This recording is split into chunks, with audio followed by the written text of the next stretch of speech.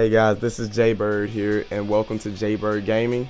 And uh, today I will be bringing you guys a, a new series or a little new thing that I'm going to be starting on my channel called Is It Worth It? And basically, what I'm going to start doing on this uh, series or in this playlist is I'm going to be reviewing games that a lot of people sleep on, and basically, I'm going to give you guys my opinions on it and like, and like, I'm going to basically say whether or not I think it is worth purchasing or you know playing in general. And so, yeah, I look forward to doing this series. I got big things planned for this series. I, I mean, because there's a lot of games that I feel like are very underrated and should be getting a lot of more credit than what they should. Like NBA Live 18. And uh, I know a lot of people uh throw shade on NBA Live simply because the past few games have not been that great. And the reason why is the graphics. The graphics just aren't there. Like they aren't the graphics aren't as good as they should be. And like I feel like the only thing that's holding NBA Live 18 back from being a fantastic game is the fact that the graphics aren't as good as 2K's. And a lot of people only like I mean like I feel like that's where 2K has the upper hand. I feel like that's where they are better than uh, NBA Live simply because you know the graphics. But if I'm being completely honest with you, I feel like NBA Live they have better animations. Not just like the animations, they ain't beating them with animations by far. Because if they were, a lot more people would play NBA Live 18 than they do. But I mean, I feel like they have the slight edge over 2K with the animations.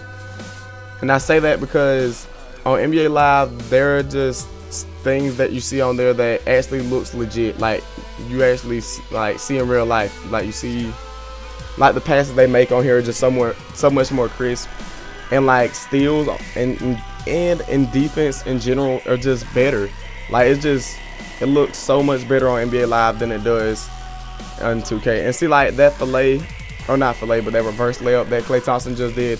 I mean, I know that's kind of like not realistic, but I mean it just looks so crisp and fluid, you know.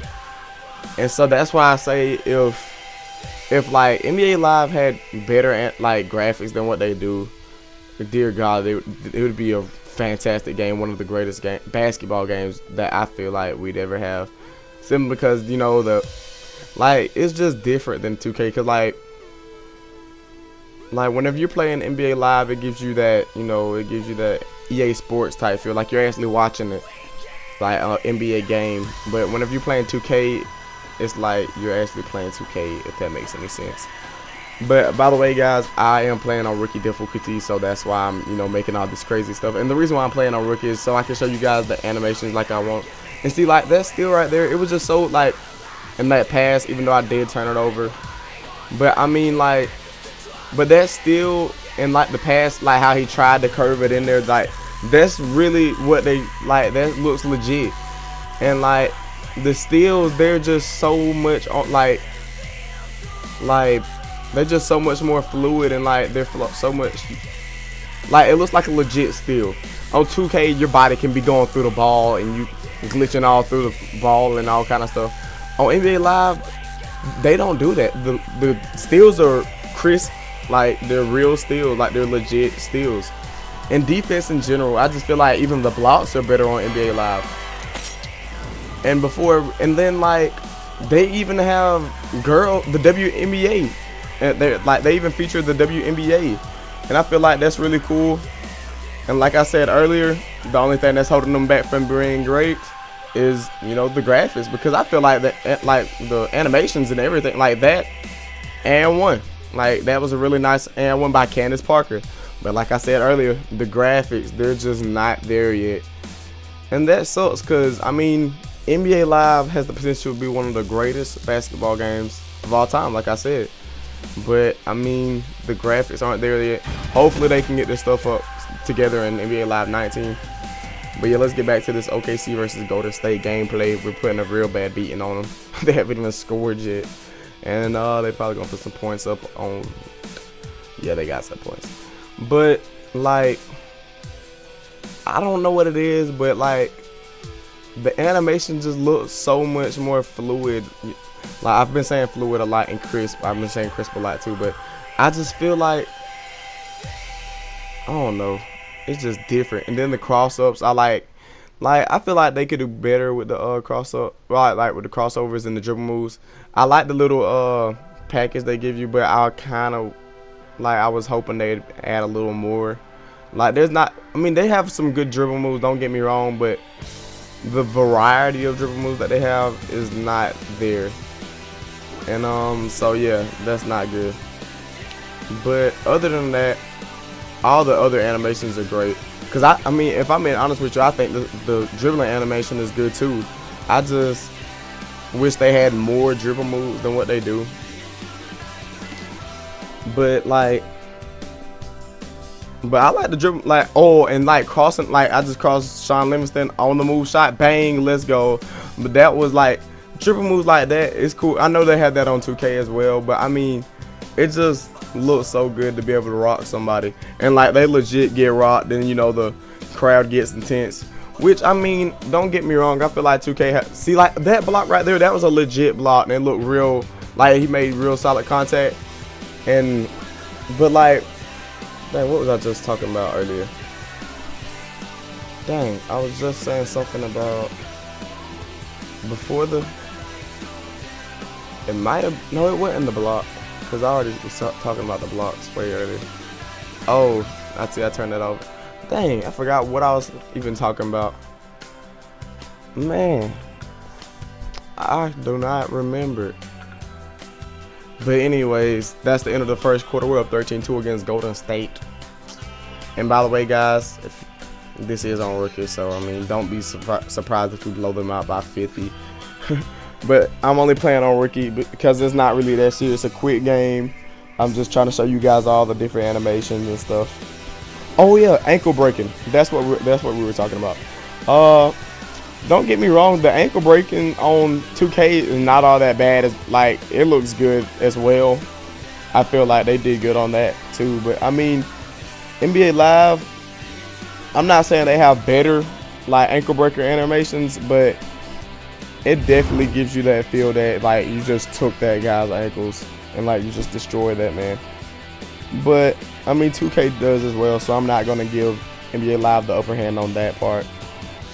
But hopefully I can. Let me see if I can watch Steph Curry. You know, got him with the pump fake. Oh, and see like, see like passes like that you just can't do on 2K. Like they just don't look as good as they do on NBA Live. And like, cause that's a pass that Westbrook really would do, and it looks legit. And like the steals, like how they actually poke the ball out, and like they fight for steals, and like it's just so like that steal by Westbrook. That was a crisp steal by uh, Westbrook. He's on the fast break. Nice bounce past the Melo and one. It's just crazy, like how deep into the animations they went. Like on a scale from one to ten on animations, I feel that I feel like they at least got a like eight and a half, at least. And that's crazy because I mean the animations on this game is great, but on graphics, oh god, graphics. on graphics, I have to give them a like a four, maybe a five, six at the most. Not even that, probably like a five and a half. And like the reason is because like the graphics just the graphics should be way better than this. I mean, come on, NBA Live, you had a few years to fix your mistakes. Still haven't. I mean, you're. I mean, they're like I'm not gonna lie. NBA Live 18 is definitely a better game than what the past few NBA Lives have been. Don't get me wrong. The past. See, oh, and see, like that block by KD, like that's a legit block. He went up for the dunk. He got that thing sent back, and that's crazy. And oh, Steven Adam comes back with a block of his own.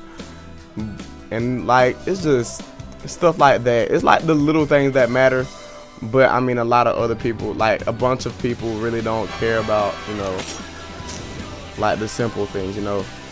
And like, and I don't, like, and what I was saying about the the small things or whatever a real thing that or like a really cool feature that I feel like NBA Live put on there that really just outdid 2K was the halftime show and the post game show. Like for and it had the like the Sports Center theme and it had the top five or the top three or something like that. And I just feel like they did an amazing job with that. And 2K, I mean, they have the you know Shaq and Ernie and all those guys, but it's just not the same as you know having that sports center, you know that ESPN feel. You know what I'm saying? Like, like the halftime show on NBA Live, it actually seems like you're really watching an NBA game. On 2K, the halftime show is like I don't know how to explain it. It's just not the same, I'm telling you. but I mean, I like the halftime show on 2K, but I'm just not gonna sit there and watch the halftime show for 2K. But on NBA Live, you eh, like it actually makes you want to sit down, you know, watch the halftime show and the post game show or whatever, and like actually watch. Cause like I like seeing, like I personally like seeing the top plays and the player of the half. Like I mean, I think that's just cool. I mean, I feel like that's a really cool feature. But I think it might just be me, cause I mean, not a lot of people even watch the halftime. They usually just skip right on past it. But I mean, I just feel like I don't know. It, like I feel like the halftime show and all that stuff has a major part to do with the success of NBA Live, even though they haven't really got too much clout. Because I mean, right now, if I had to choose between 2K and NBA Live, I choose NBA 2K. Simply because 2K, the graphics, it's the graphics, man. I'm telling you, graphics are everything's. It's like everything in games. I'm telling you right now. If you if you have a like if the game has bad graphics, then then there's like a, a seven and a half chance, seven out of seven out uh seven and a half out of ten chance that it's not gonna be that good. And that's what that's why it sucks that the graphics on NBA Live 18 aren't that good. Cause I mean, I personally feel like like 2K. I'm not like 2K, but NBA Live is a really good game. It's just like I said, it's just not there with the graphics, man, and that's not good. And see, like the top three plays, like that's cool. Like Westbrook dunking on Draymond Green, that's that's cool. That's really cool, you know. And like the block by thinking that might have been Ferguson. I'm not even sure. And then the fast break dunk on uh, might have been Nick Young. Yeah, I think that's who it was. And so basically, what they're saying is Westbrook's been on fire this whole game. And the buzzer beater three was the number one play of the half. And like, see, it's just like this. Like, I don't know. It's just um, what, like that pass right there. It was simply amazing. Like you can't you don't like you simply can't make passes like those on like on two on 2K. They just won't allow it because the animations don't go as into into depth as much as NBA Live does. But and see like that layup by Curry, like it went over the top of the backboard almost, and like that's really how his layups are. And I mean, like 2K, like I'm not gonna lie, 2K is the better game simply because the graphics are better. But I feel like if NBA Live would at least took a little bit of more time to, you know, kind of improve the graphics, it'd been 10 times as better as a game. If not, I think it would have been better than 2K. If if NBA Live improves their graphics, I personally feel like NBA Live would be better than 2K and then like the storyline it's not that bad it's not bad at all really like i mean you got the uh, nick howard or whatever like it sucks that they don't really talk about him that much towards you know the middle of it. Like they really don't talk about him at all. And then like like after like after the rise part it's just they don't even speak about it. Like really it's just playing. And like I don't the story mode wasn't terrible. But it wasn't as good as it could have been. And see, like the, this pull up three by Curry, that's like a legit Curry three. I mean, that's like how he really shoots his threes. I mean, he's like it's so I don't even know how to explain it. Like they went so into depth with the animations that it's just freaking simply not even human. and like, and um, what I what I was saying about the story mode is like like it's not bad. Like the story mode isn't bad at all. I just feel like they could have, you know, went a little farther with it. Cause it's like basically after you finish the rise, that was basically it. That was basically the end of the story mode. basically. But I mean, they tried to give you glimpses of glimpses of you know story like like glimpses of like a storyline here and there. But I mean, it just wasn't like. And then like a thing that I really like, like I really enjoyed about the story mode is like how they had the first take on there. That was that was amazing. I like how they did that. That that that part right there on the whole story mode that deserves a 10 out of 10. Way to be creative. But like it seems like after you finish the rise, they didn't even do that anymore, and that sucked. But like on the rise, they had the uh the first take with St- Stephen A. Smith and, and that, and I thought that was just freaking amazing. That was incredible how they did that. It really gives you that feel that you're actually in the game. I guess well, that's why they call it NBA Live. I guess. no, but um, and then like on NBA Live, you can put your face in the game, and I thought that was pretty cool. And then like, but you can do that on 2K too. So I'm not even gonna uh like act like they got the upper hand on that part because you could do that on 2K. And like, basically, what the whole point of this whole series is, is it worth buying, or is it worth just playing in general? And uh, and if you ask me, I personally feel like NBA Live 18 is worth playing. Now, I don't agree with the price you would have to like pay for it. Like I think it might be $40 right now, but I don't think it's worth $40 to be honest. Like maybe $30 at the most $30. But $40, I'm just not seeing that cuz I mean, it's just not that good of a game.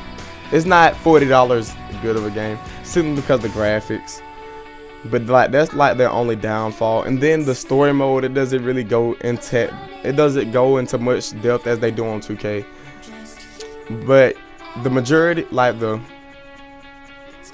the moral of the story is nba live 18 is worth playing at the right price or like if you just I know on PlayStation, if you have PlayStation Plus, it is like a sale for like six dollars or whatever, and I think that's a great deal for this game and I think you really should check it out.